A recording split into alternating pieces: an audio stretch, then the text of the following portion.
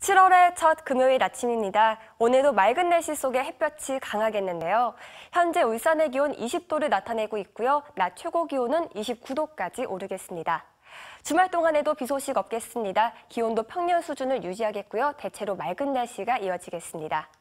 오늘 울산 지방의 미세먼지 농도는 종일 나쁨 단계까지 오르겠습니다. 오늘은 자외선 지수도 매우 높은 단계를 보이겠는데요. 이런 날에는 자외선 차단제를 정기적으로 발라주시는 게 좋겠습니다. 오늘 대체로 맑고 무더운 날씨가 이어질 전망입니다. 자세한 기온 살펴보면 현재 포항이 22도, 부산이 21도를 나타내고 있고요.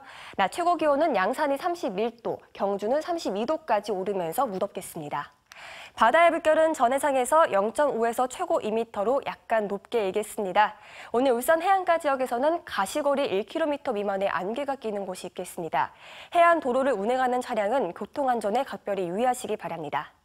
끝으로 주간 날씨입니다. 대체로 맑은 날씨가 이어지겠고요. 다음 주 수요일에는 장마전선이 다시 북상하면서 비를 뿌리겠습니다. 날씨였습니다.